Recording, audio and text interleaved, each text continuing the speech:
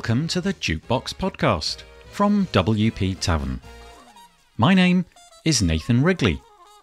Jukebox is a podcast which is dedicated to all things WordPress the people, the events, the plugins, the blocks, the themes, and in this case, how to improve the accessibility of your WordPress website. If you'd like to subscribe to the podcast, you can do that by searching for WP Tavern in your podcast player of choice, or by going to wptavern.com forward slash feed forward slash podcast. And you can copy that URL into most podcast players. If you have a topic that you'd like us to feature on the podcast, I'm very keen to hear from you and hopefully get you or your idea featured on the show. Head to wptavern.com forward slash contact forward slash jukebox and use the contact form there. So, on the podcast today, we have Joe Dolson. Joe is a WordPress plugin developer, a core committer, and a web accessibility consultant. He's part of the Make WordPress Accessibility team, the team dedicated to improving accessibility in the WordPress ecosystem. His recent presentation at WordCamp US, entitled Finding and Fixing the Six Most Common WCAG2 Failures, highlights some of the key areas where websites are not as accessible as they should be. The areas we discuss are low contrast text, missing alternative text, empty links, missing form labels, empty buttons, and missing document language. Joe explains what each of these problems are, both in terms of how they can be fixed, as well as what people with accessibility requirements might experience when they visit your site. We talk about how you can equip yourself with the tools that you need to diagnose these issues and online resources you can use to discover more about website accessibility. It's Joe's opinion that you're better off making a start right now, carrying out incremental changes rather than attempting to solve every single problem that your website might have. Begin the journey and take it one problem at a time. We also chat about the fact that there's an ever growing legal compulsion to make websites follow accessibility guidelines. Lawsuits are going through the courts with greater regularity, so now might be the time for you to look into this topic. That being said, Joe cautions against the use of tools which purport to solve your accessibility issues with minimal effort. A variety of pop up solutions have emerged onto the market which claim that they can make your site compliant with almost no effort. Joe is adamant that these promises are almost always false and that there's real work to be done on each website as they're all unique and have unique problems to solve. Typically, when we record the podcast, there's not a lot of background noise, but that's not always the case. Over the coming weeks, I'll be bringing you recordings from a recent trip to WordCamp US 2022, and you might notice that the recordings have a little echo or other strange audio artifacts. Whilst the podcasts are more than listenable, I do hope that you understand that the vagaries of the real world were at play. If you're interested in finding out more, you can find all the links in the show notes by heading to wptavern.com forward slash podcast and you'll find all of the other episodes there as well. And so, without further delay, I bring you Joe Dolson.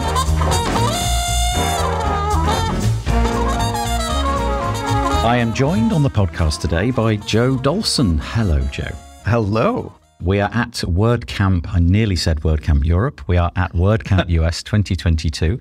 We've got Joe on the podcast today because he is doing a talk at WordCamp US. Do you just want to tell us a little bit about yourself, why you're on this podcast, but then stray into what your talk is about? Certainly. So, I'm Joe Dolson. I'm a WordPress core committer. I've been a contributor to the accessibility of WordPress for quite a long time. I think I first started contributing in WordPress 3.4. I'd have to look at my history to actually know that for sure, but it was somewhere around there. So today, I'm talking about a study from the nonprofit organization WebAIM out of Utah, in which they looked at the top million homepages around the web, the most widely visited, heavily known web pages, and did a bulk analysis of the accessibility issues on those pages. And I'm going to talk about six specific types of errors that they found constituted 96.5% of all detectable errors using automation. And the things that that exposes and how you can work with consultants, how you should use your time, and how you should use automation to solve problems. Can I ask how it is that you became interested in accessibility problems, given all the myriad things that you could have become interested in web? How did accessibility fall into your lap and create so much interest for you? So, when I started my business in 2004, I started right from the beginning with the idea that I wanted to pursue accessibility in websites. And that was because when I decided to become a web designer, I wanted something that was unique about what I did. I wanted to do something that wasn't just marketing. I wasn't really interested in marketing. I'd seen a lot of that around, and I'm like, boy, that that just doesn't seem like it's socially motivating. Mm. It doesn't seem like it's interesting. It doesn't feel like I'm doing something worthwhile. So I had to think to myself about, well, what do I know already? What do I have a unique access to that can make my business be a little bit different? And my mother was the executive director of a nonprofit that provided arts access for people with disabilities.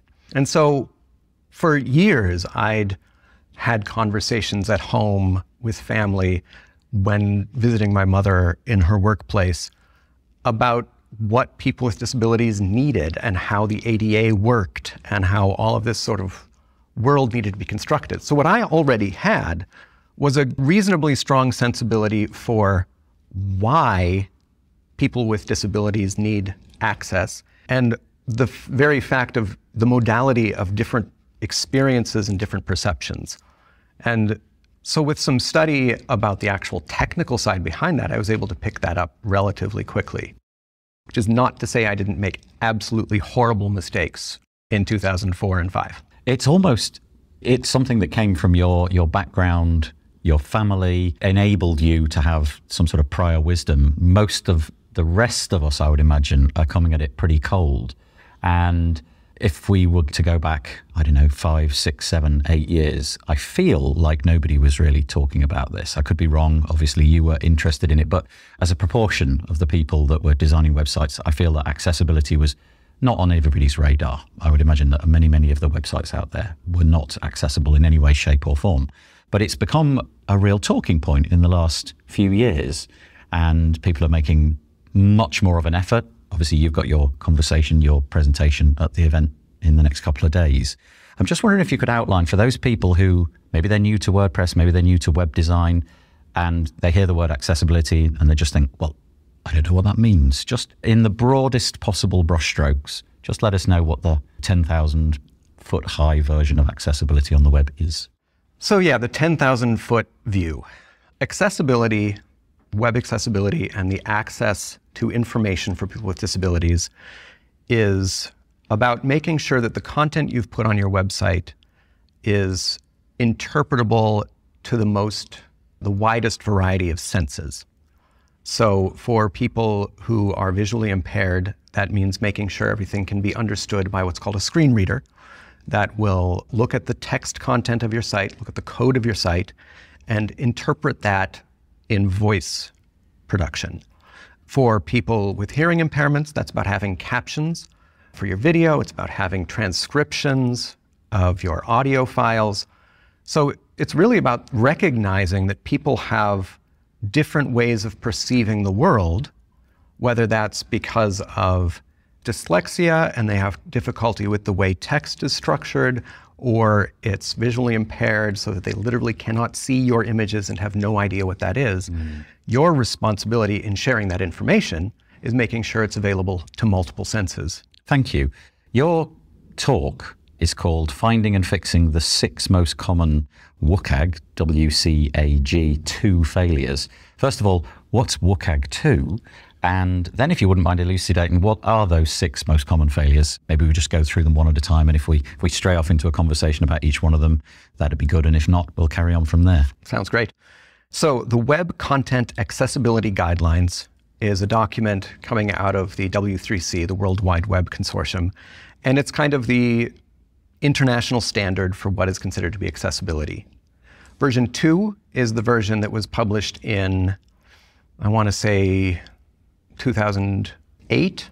So it's not new, but it's been then updated periodically since then. The current version is 2.1. 2.2 is currently a candidate.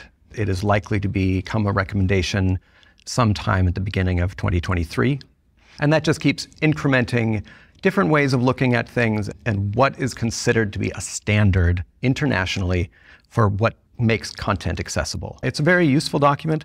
It is enshrined in law in a number of contexts. The US government's Section 508 is based on WCAG 2. A lot of international laws, such as what the EU uses for their guidelines, are based on WCAG 2. So being aware of these guidelines is pretty key. Just before we go into the six areas that your presentation is about, when you say that the things are enshrined in law, and you mentioned the US and the EU in particular, I guess there's going to be a, a, whole swathe of different responsibilities and things that you are compelled to do. You're in the US, so just give us an idea, just paint the picture in the US specifically, and we'll just ignore the rest of the world for now about what the absolute requirements are. So, in other words, if you don't satisfy this, you are in breach of the law. So, are you able to speak I, to that? I can definitely speak to that. And it's definitely good that we're narrowing that just to the US because otherwise this would go on for hours. One country at a time, yeah. so in the US, what we've got is Section 508, which is part of the federal regulations governing the acquisition of software for government institutions. And that only applies when you're getting funding from the federal government. So you're only in violation of that if, for example, you're a university and your website is funded by federal grants. And that is 100% it's based on WCAG 2. There are a few tweaks that are not exactly identical.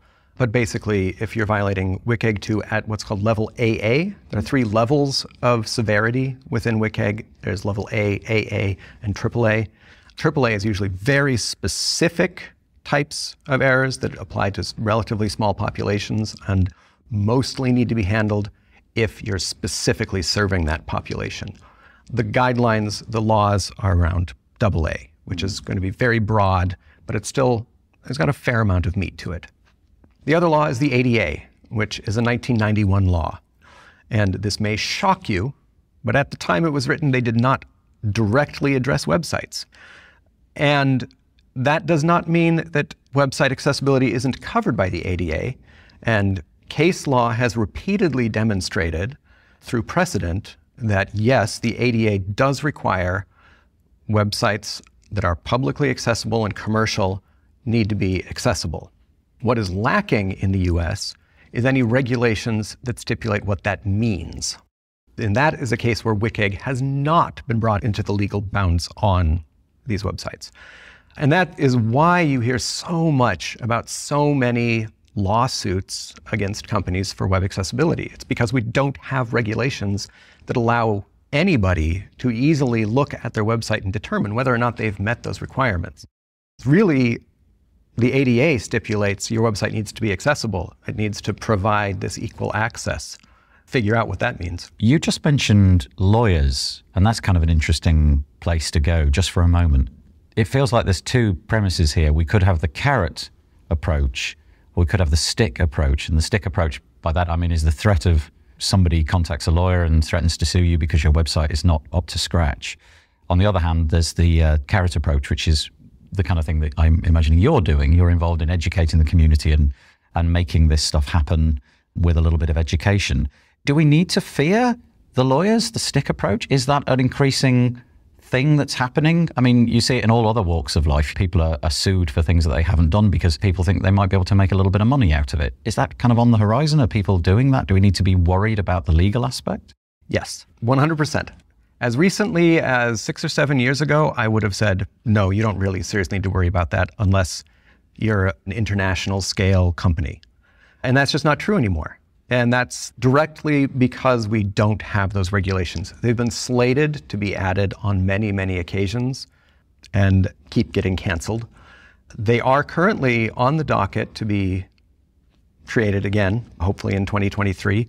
But until that happens, we don't really have anything that gives us a goal. And one of the things that regulations could come with is a schedule, a schedule of enforcement.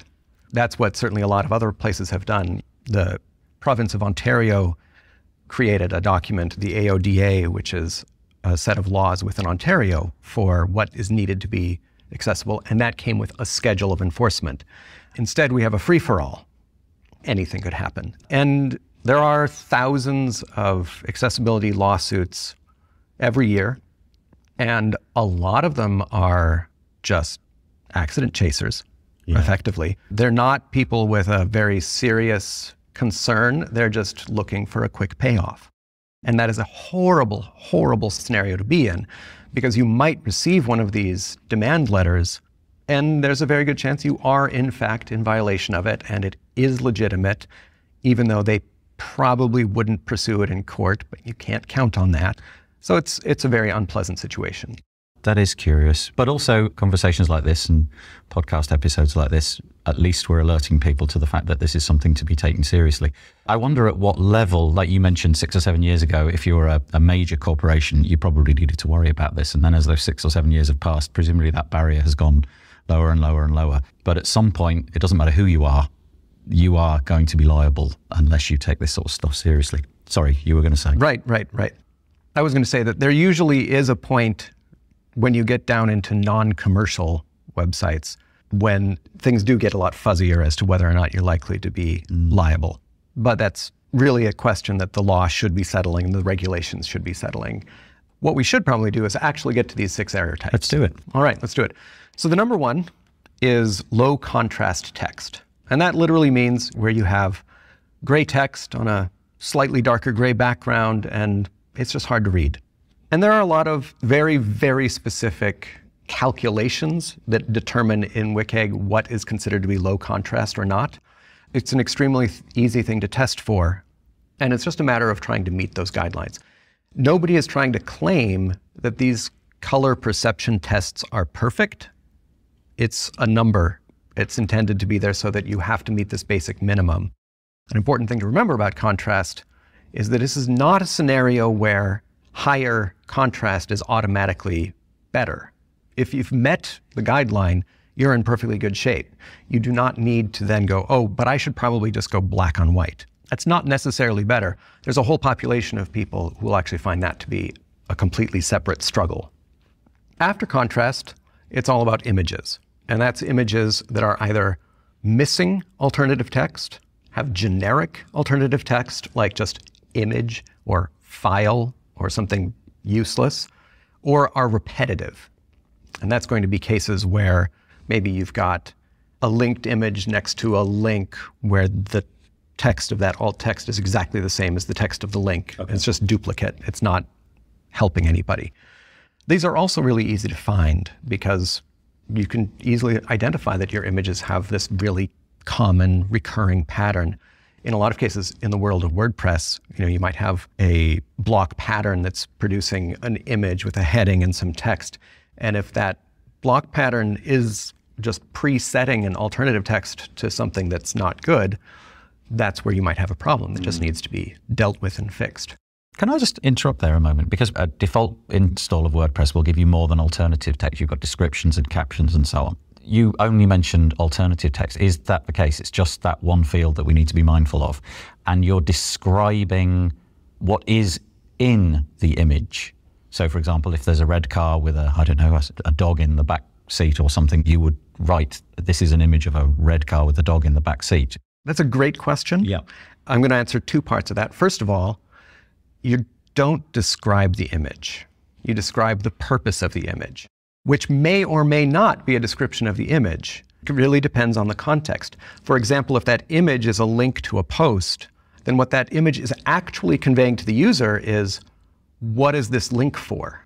Which is not necessarily going to be what is the image of, which is also a question for is this the right image for this? If that alt text doesn't make any sense with that image, then maybe this isn't the right image. But ultimately, what you're actually describing is the purpose of the image. It might be that it's an image of a dog in the backseat of a red car. The other thing I want to mention about that is you would not say image of, because that is already going to be predicted and produced by the screen reader. They know it's an image. You got that covered. And that is an extremely common problem, actually, is people stating that it is an image. Totally unnecessary. Okay, so we went through number one and number two. Well, there was another part of that, which is the WordPress fields. So the WordPress media library has four fields that can be filled in title, alternative text, caption, and description. Those four things all serve completely different purposes. The title is really only for administrative use. In very old versions of WordPress, it was used to add a title attribute, but that has not been the case for many years. The alternative text is the thing that basically represents the image. It's the alternative to the image. When that image is not available, whether it's because somebody can't perceive it or because it doesn't load, that's the thing that should take the place of that image. And that's the generic version of it because the things stored in the media library is just one alternative text. So usually that is going to be a description of the image. In actual use, you may or may not want to use that text depending on the context. Again, with that linked image, it's not necessarily a description of it, it might be a description of the target. And then the caption, the caption is a thing that should be universally available. So both people who are sighted and people who are visually impaired will be able to see that. So really, it's something that should be complementary to the image. It gives additional context, but doesn't necessarily explicitly describe it. An example there would be it might be used to say who is in the image. For example, you know, the description is a man with glasses and a beard stroking a cat, and then the caption actually says, "This is a picture of our founder Joe Dolson and his cat Bubbles. I don't have a cat named Bubbles, just to be clear. There was more in that than I, I imagined. The description field is actually not used by default unless your theme has decided that there's some context in which that's used. So, okay, we've done one and two. Moving on to number three. That's form fields without labels. And that is an incredibly big deal. I mean, if you have a contact form or a search form or a sales form, any kind of query, and those form fields don't have labels, then basically a user with a screen reader, they don't know what they're trying to do. They have no idea what this is. Frequently, you have form fields that have text nearby that is visually a label. It looks like it has a label. But if there's no explicit association between that information, because a label is a specific HTML field, and it's connected to an input using a for attribute and an ID attribute. And that makes it really straightforward, really explicit. And that tells somebody what this field is for. And those being missing are just, that's just wrong. It shouldn't be missing. Next one after that, and I'm just going to collapse the next two into one because they're effectively the same problem. Empty links and empty buttons. That is literally a link that does not have any text contained inside it, or a button that doesn't have any text. As often as not, that's because they're either an image that doesn't have an alt attribute, so there's nothing meaningful there. It's like a font icon or an SVG image that is supposed to represent your hamburger menu, or it's a close icon, or it's a help icon, or any of those many possibilities, but doesn't have any kind of accessible name. It doesn't have any attributes that give that a text context so the screen reader knows what this is supposed to do. Those are also extremely common. The last of the six, and this is quite rare to be a problem on a WordPress site because WordPress pretty much takes care of this, is a missing document language. Every HTML element should have a lang attribute that declares what language the document is in English, German, French, Spanish, whatever. And the purpose of that for a screen reader is to tell them how to pronounce it. Not having that means it will be pronounced according to whatever that person's local settings are. So if they're a French browser on an English site, the English is going to have a very strong accent. And in fact, it's not really an accent because it's following a completely different set of pronunciation rules. And that's going to make it incomprehensible. So making sure that that attribute is present is really important. I haven't seen that as a problem on a WordPress site with a theme that's reasonably recent for a long time. There were definitely a lot of older themes where big problem. I'm guessing that the six things that you brought to the table could easily be 15, 20 things, but six was the number that was chosen there. I guess the problem is you could have gone on all day and we could have talked for hours right. about all the other things, but these are the things that have risen to the surface. So anybody who's not encountered this is now going to be presented with additional things to do, work to be undertaken, things to be learned, and so on and so forth. I'm just wondering if there's any any useful things, tools, for want of a better word, that you have found over the years that have enabled you to short circuit things, make things as easy as possible. So it might be a browser extension or, I don't know, some app that you can install on your computer or something like that. Yes, there are an incredible number of these types of tools. And they all have slightly different ways of working, slightly different sets of tests. But these particular six items, all of the automated tests are going to find these and help you solve them. They'll give you guidance about what you have and what you need to do. So I think some of the ones I use the most are going to be there's an automated tester from Tenon.io, and that's an application that you can run remotely. It's got an API, so you can run it just automatically, and it'll just scan a page and give you a list of everything that's found on it. Another one is wave.webaim.org. That's from the same group of people who produced this report that found these errors.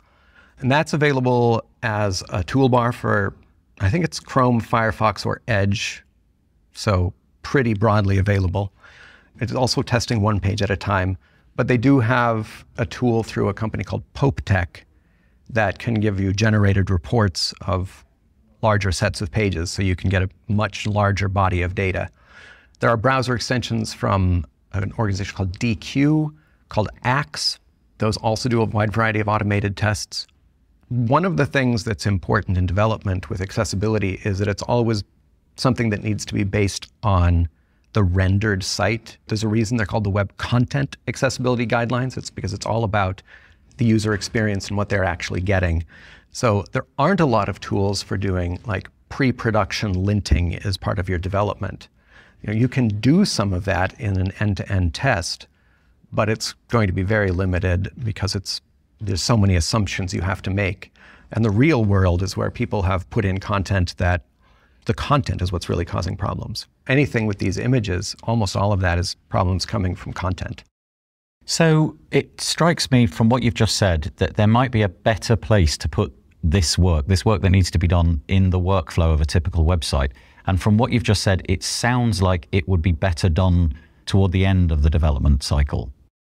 Different parts of it fall in different locations. So low contrast text, for example, is frequently a design issue. So that, as often as not, should go at the very, very beginning. That's when you're deciding what kind of color palette you're going to use and what your base design looks like. The images, it's a mix because it depends on whether you're using a plugin that generates a body of images or you're using images embedded into content. In the latter case, it's a content production issue, so it's something that you should be checking on the fly and should be done on a constantly recurring basis. For the application environment, for you know, a plugin that's producing these lists, that needs to be fixed in the development side on that plugin, whatever it's doing.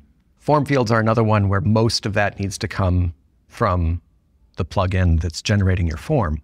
Gravity Forms has done a huge amount of work on improving the accessibility of their product. They've got more to do. It's always, these things are a constant battle of, oh, we screwed this up, now we've got to fix it. Oh, we fixed this, but now we screwed that up. But Gravity Forms has done a really great job.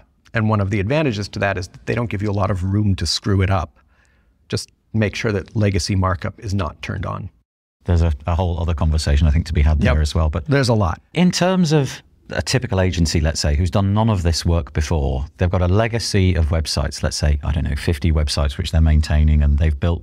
So suddenly we're presenting the agency with work that they need to go back and, if you like, retrofit the websites that they've already built and bring them up to standard. And then, of course, there's going to be the new work which comes through the door, and that's going to be a little bit more straightforward. This brings to mind the question how much do we need to be doing of this now?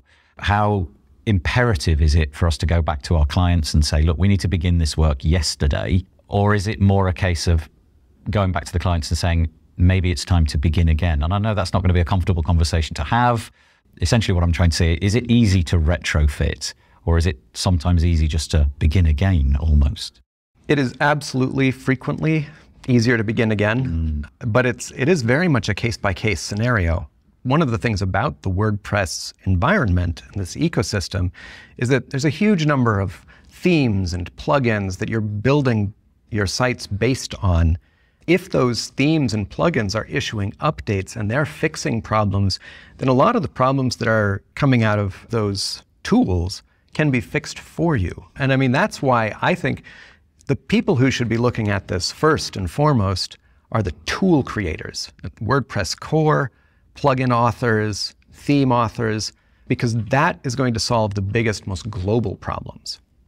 And when I say global, I mean these are things that are infecting, that are affecting entire sites. I said infecting. It's kind of an interesting perspective. I like that in some ways. I don't know. They're infected with inaccessibility. But anyway, if these plugins can fix something, then they can have an impact on thousands, millions of sites. I mean, this is one of the reasons I contributed to WordPress at all, is if I can make one little change, it can potentially impact millions of sites. Just the, the, answer to this may simply be a no and it goes nowhere else. But is there any sort of an accreditation system that things like plugins can get certified against so that, for example, you mentioned Gravity Forms as a good example of a company that have done some work in that area, so that you could visit their website, see the accreditation stamp somewhere, and say, okay, I'm assured that at least some of the work has been done. I don't know if that's even a thing. There's nothing that I'm aware of really for plugins. There's an organization, it's the IAAP, the International Association of Accessibility Professionals, uh, and they certify people as specialists. In the theme world, the WordPress theme repository does have the accessibility ready tag that does require some manual testing. Plugins are a really difficult case because it's hard to set a specific set of tests and guidelines that they have to meet mm-hmm. because they do so many different things. For some plugins, there are no settings, there's no user interface, it just does some automation. And you're like, well, is that accessible? It literally has no interface. How do we judge that? Okay, so we talked about retrofitting, we talked about beginning, and potentially that the beginning is the easiest way to go forward. That therefore raises the question of how much of this do you need to be mindful of before you can say that site is ready to ship? And bluntly, let's say, is it okay to have a site where 10% of the tick list that you want to achieve has been completed? Is that okay to launch, or do we need to be higher into the 50s, or indeed the 90s, or the 100%? In other words, is it better to do something and launch it rather than wait until it's perfect? We know how this works. If we build websites, we've had this problem time and again. You know, things creep in that we need to do, and we never end up launching the product because we're constantly, constantly making it perfect. So, just some guidance on where we need to be there. So, it's a slightly different answer depending on whether we're building a new product or making changes and retrofitting something old. When you're retrofitting, in my opinion, it's just the goal is make it better every day. If you can ship an update that fixes one problem, then fix that one problem. It's better. It doesn't have to go from zero to 100 in an instant. There's no reason to wait to shift an improvement. When it's a new product, I would say 10% is awfully low because we all know how priorities work. And as soon as that product gets in front of users, now you've got user demands, you've got clients who just are like, "Oh, I don't I don't know that I want to pay anything more right now." And so that additional percentage may just never happen. So going over 10% is definitely worthwhile. But you should always recognize that there is no 100%. Like you're not going to achieve 100% accessibility. The range of human experience and human perception is far too great. All you can reach for is try and think of everything you can and everything that seems reachable and that you understand and recognize that you're going to make mistakes. You were mentioning earlier about the lawyering and how that has become a thing.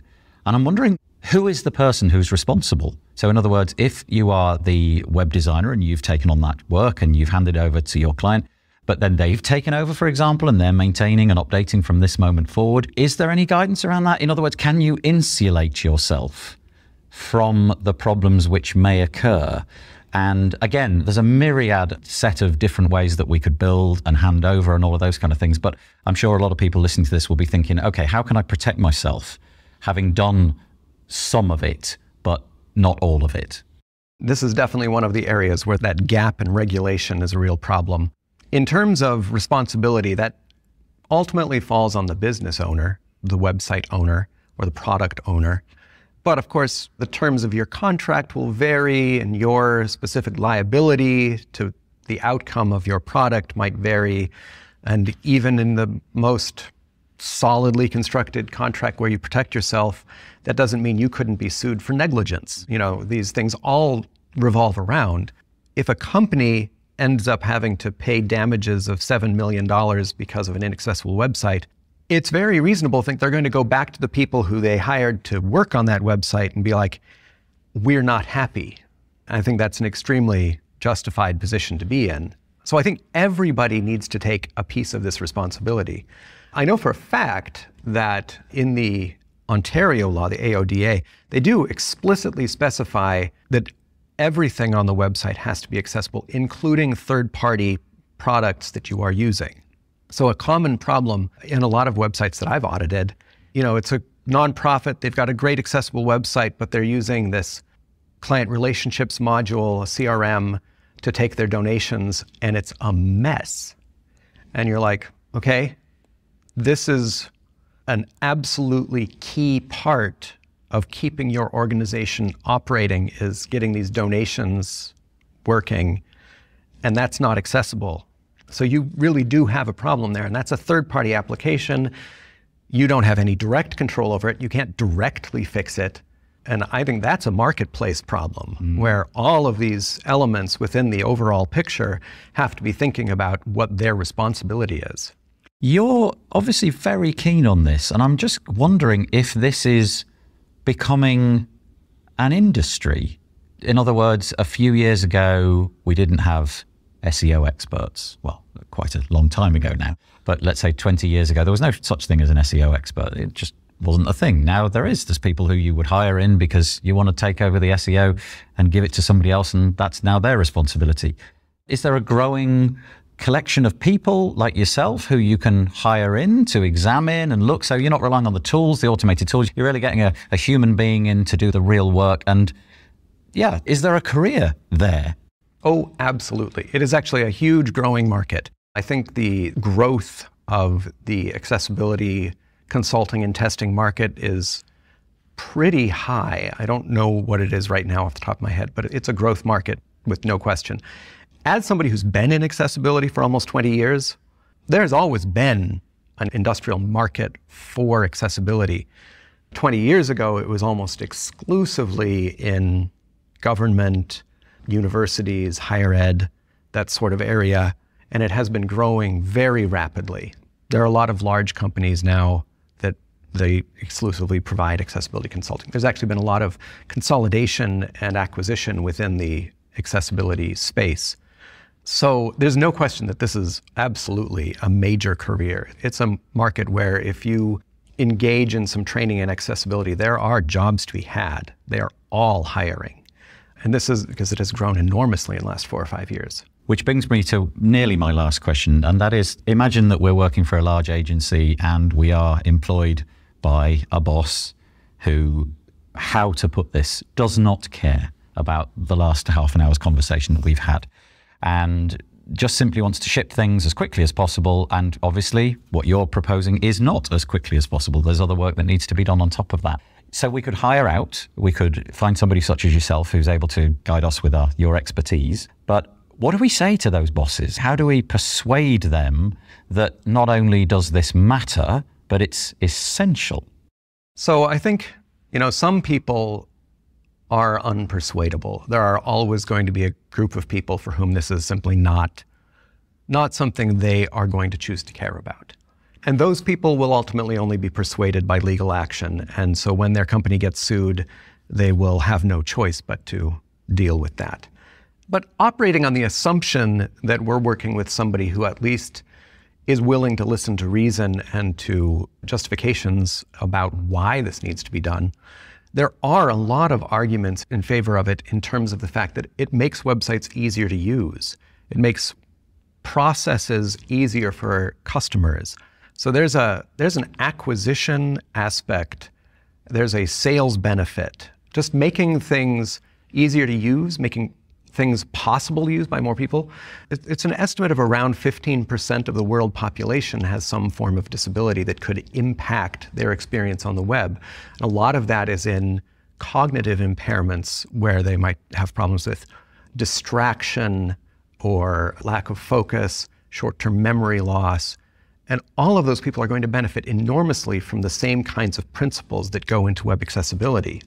And so, on a, on a marketing argument, the very fact that by implementing accessibility, you can increase your potential market by 15% is something that should be relevant. I think there is a perception sometimes that people with disabilities aren't a market with money to spend. That's a bias that's coming through things like the Social Security programs for supporting people with disabilities. But the fact is, in this era, the percentage of people with disabilities who are able to be gainfully employed is rapidly increasing because the digital marketplace takes away a lot of the barriers. You don't have to necessarily travel to your job, which might be very difficult if you are visually impaired or if you have problems with distraction in an environment or you just need to be able to get away from overstimulation. So that market is increasing. I think I think it's the US number right around now.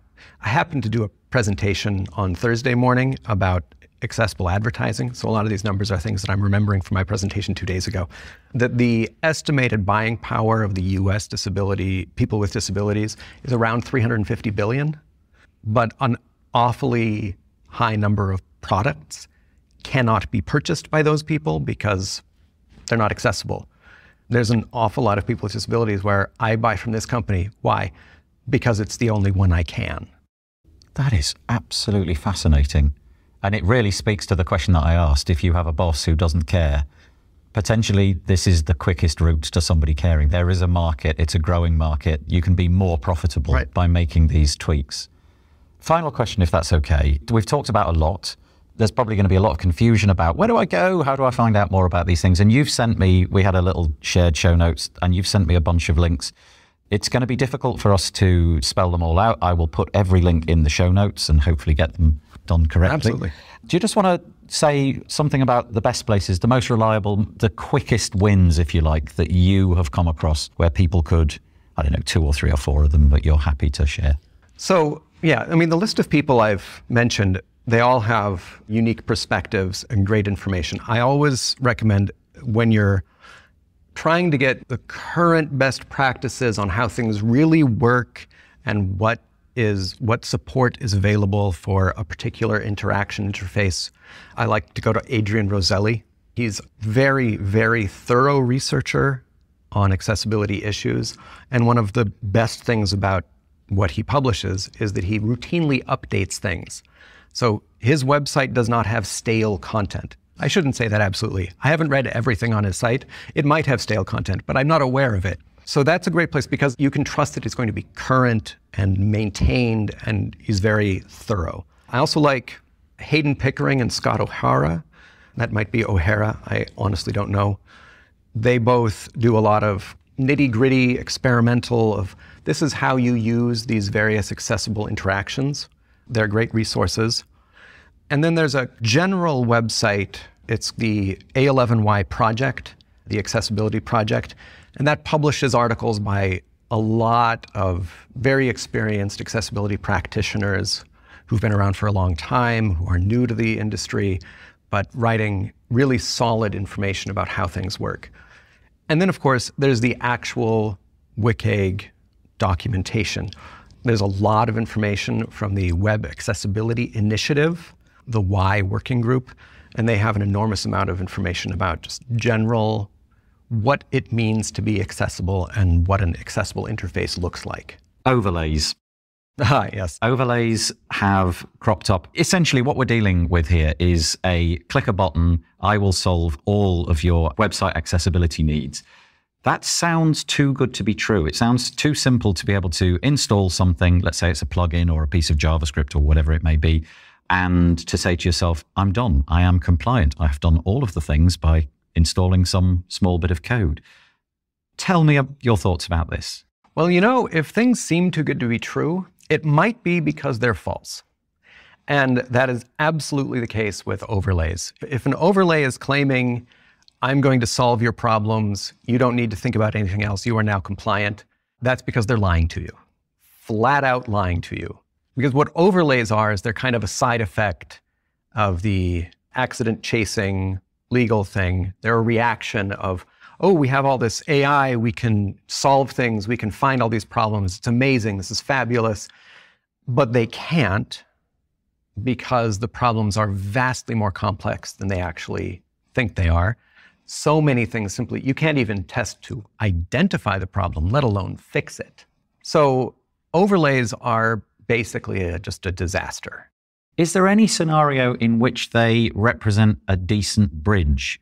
In other words, if, if you just click that button, get that overlay on there, and then begin the good work that you've described during the podcast, all the other things that you can do, is there any scenario where that could be recommended, knowing that it was the temporary kludge? Mostly no. Now, I will say that's a no in terms of any of the really major overlay vendors, because for the most part, they are actually going to make your website worse. There are certain of those vendors who will absolutely, definitely make it worse. And there are browser extensions that have been marketed directly to the disability community for the sole reason of disabling these overlays because of the problems they cause for people with disabilities. There are some extremely narrow categories where an overlay can bridge that. And a lot of the major accessibility corporations as part of their work, they will build an overlay, a custom overlay, which specifically deals with specific problems on your website. And that's going to be in cases where the process to actually get the backend code updated is too burdensome and they need something fast. But it's only going to solve a tiny fraction of those problems. That should be something that's custom, that's targeted. I have a plugin WP Accessibility.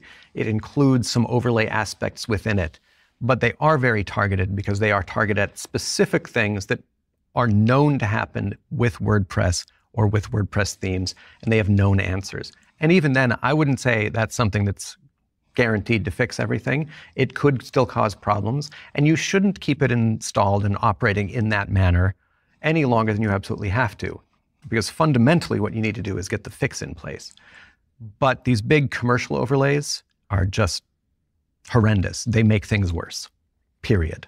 There was one further question. Sorry, I was sneaking this one in at the, right at the end. I also asked you to recommend a community that you thought was worth hanging out in because that's often a, a way to just sort of speed up the process. You find some friends in there and they help you and they point you in the right direction. So you've mentioned one here. Do you just want to tell us about that? So there's a Slack community for web accessibility professionals. It's web-a11y.slack.com. And there's about 10,000 members of that Slack organization. And it's a great place to ask questions, look for advice, read what other people have done, search for past conversations on various topics. It's a pretty large Slack, it's very active. It's kind of the place where the community mostly hangs out, I would say. And should anybody wish to find you, Joe, off the back of this. If you're willing to share, what are the best places to get in touch with you? I'd say the best places for me, you can find me on Twitter at Joe Dolson, J O E D O L S O N. You can find me in the WordPress Slack, also Joe Dolson. Pretty much anywhere I am, you'll find me as Joe Dolson. Thank you very much for joining us on the show. Thank you. Thanks for having me.